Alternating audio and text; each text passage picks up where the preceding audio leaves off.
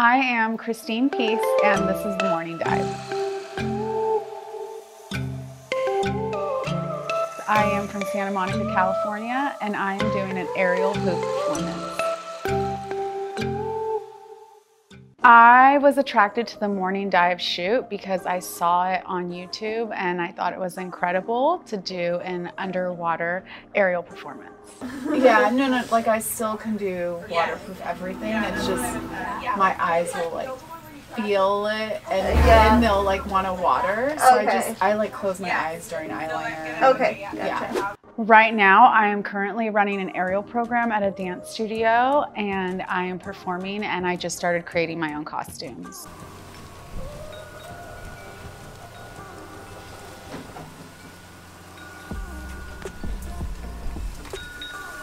I have aerial hoop experience. I'm a professional aerialist and I perform on silks and hoop and hammock.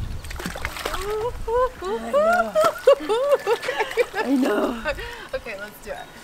You gotta kind of move fast. I do have experience shooting underwater. I've been shooting underwater for about six years now. If you hold it, Yeah. and maybe you can't do the, you know, uh, where you, Go upside down. yeah, you can't do that. Uh-huh. But maybe if you hold it, you can go like this Okay. and stuff like, you know, this one, Yeah. like that. Yeah. And if you're floating a little, it's okay. Yeah. Okay. Okay. And make sure you're facing this way, because if you're facing that way, your your back will be so like how you are right now Uh-huh. is perfect. Okay. Work with that area. Okay. Okay. Okay. I'm going under.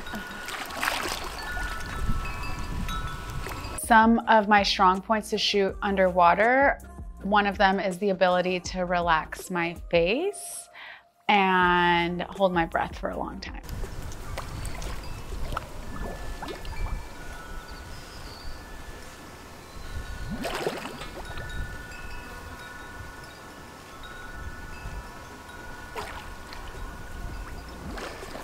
I am a little nervous to shoot underwater, but I also remember how peaceful and relaxing it can be. So I'm sure once I get underwater, it'll be great.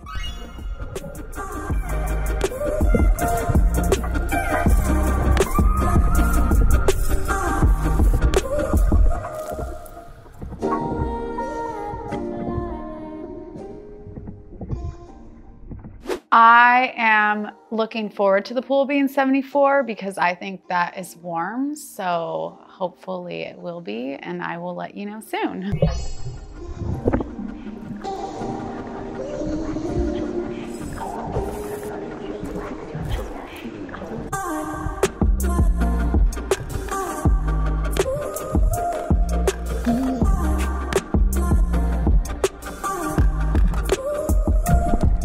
I think shooting with the aerial hoop will be very fun and challenging.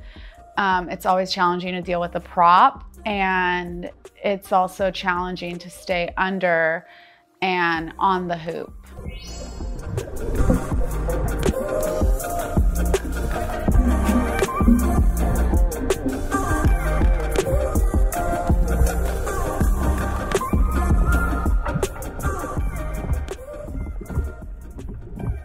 Thank you for watching. Make sure to subscribe, like, and share this video. If you want to shoot with an aerial hoop underwater, I would practice on an aerial hoop first, the poses that you would like to do, and I would keep them extremely simple. I found it hard. Um, I've every time I've done an aerial hoop, it's been weighted, so it was a complete new challenge for me to have a hoop that was not weighted.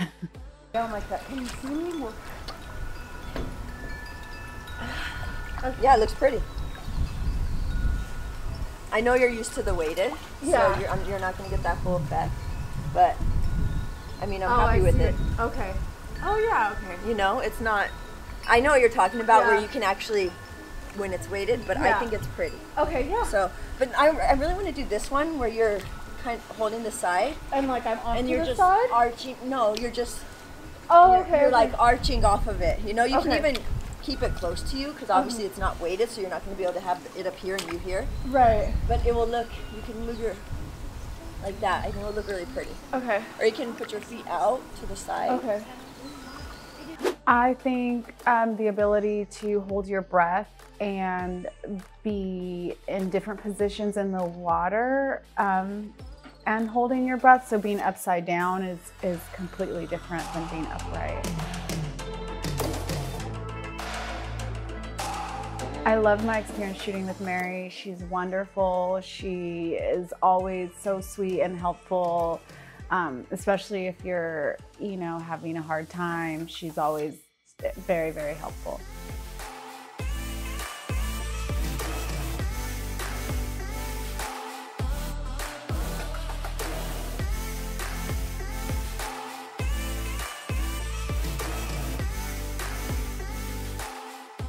I was most proud of how long I was able to stay underwater and do multiple poses with, with one breath. If I were to shoot aerial hoop underwater again, I would probably find out first if the hoop is gonna be weighted or not. Um, nothing funny happened during the aerial hoop shoot, but it was very interesting to play with the angles that we did our poses. It came out with very different shots.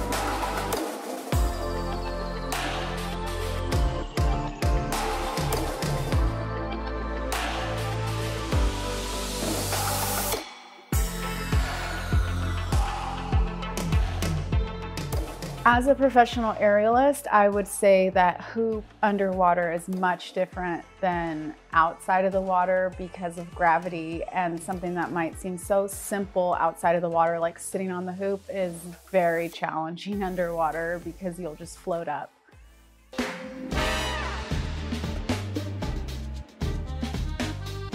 Something you might not know is that if you go underwater and you let all of the air out, you can stay at the bottom for a lot longer. To see more videos of me on the morning dive, click the link below.